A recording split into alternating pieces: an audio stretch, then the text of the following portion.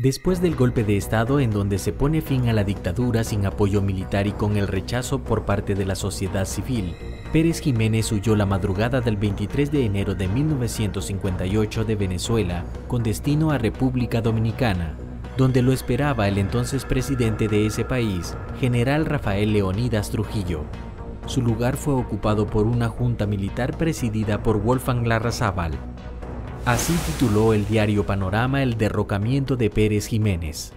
Desde ese entonces hasta la actualidad, todos los 23 de enero se celebran en Venezuela como un día de júbilo, donde sus ciudadanos recuerdan la importancia de la democracia y el fin de una era de control militar que dirigió al país a lo largo de su historia.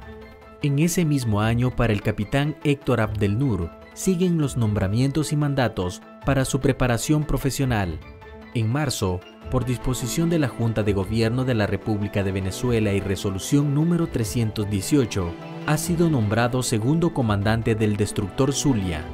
El destructor Zulia era un barco de guerra construido en 1951 por ingleses. Este junto con Esparta y Aragua eran tres de los majestuosos destructores de la Armada venezolana, siendo estos bautizados como FNV, en sus siglas Fuerzas Armadas Venezolanas. En abril, como todos los nombramientos y dictámenes hechos para el capitán Abdel Nur, la Junta de Gobierno de la República de Venezuela y resolución número 508 de fecha 1 de abril de 1958 ha sido nombrado ayudante de la Casa Militar, firmado por el coronel Jesús Manuel Pérez Morales, jefe de Estado Mayor General. Durante este periodo, hasta el año de 1959, cumple diferentes misiones, y por su estatus militar y ejercicio durante su carrera, Héctor Abdelnur recibe la orden de acompañar a Fidel Castro. Es por ello que lo nombran con el cargo oficial de edecán para atender a Fidel durante su visita a Venezuela. De igual forma organiza la compra del avión para ayudar a Cuba a recuperar su democracia y derrocar al dictador Batista. Estas fueron las intenciones que había manifestado Fidel Castro y los revolucionarios que lo acompañaron. Posteriormente, vienen meses de mucha actividad y tensión para Venezuela.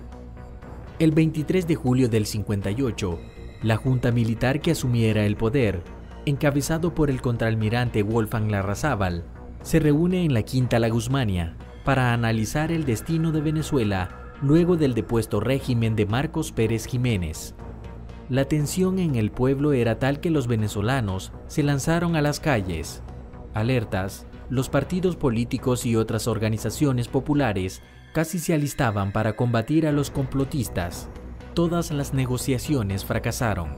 Al pasar de las horas, se da aviso a la prensa que la reunión de gabinete se traslada a la capital, no sin antes conocer la sensacional noticia del traslado del gobierno hacia el departamento Vargas, bajo el amparo de la flota, que demuestra su decisión de mantener el clima de libertad que imperaba en el país.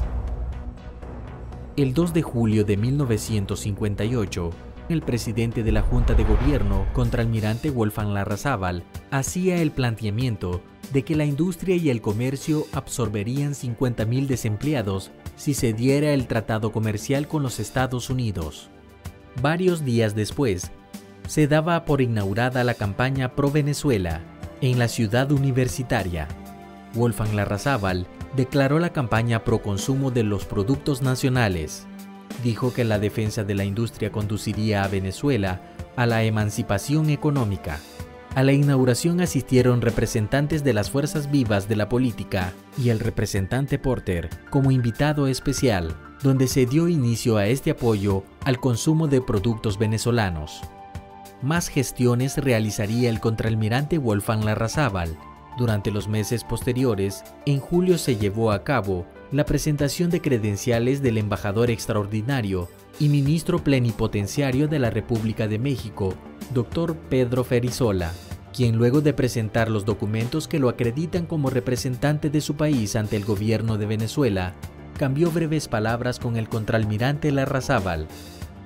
En septiembre, en su cometido de seguir apoyando la economía venezolana, y equilibrar el costo de la vida de los venezolanos, el contraalmirante Larrazábal inaugura el primer proyecto de una serie de establecimientos que se llamaría Automercado de Mercífrica. El objetivo era extender la campaña de abaratamiento del alto costo de la vida a todo el país y despachos gubernamentales. Con Mercífrica experimentan la posibilidad de establecer un Instituto Nacional de Mercado o un Instituto de Precios Mínimos. En octubre del 58 se da inicio a la construcción de lo que sería uno de los iconos arquitectónicos de Caracas, el helicoide, donde se proyectaba en aquel entonces como único mall en América Latina.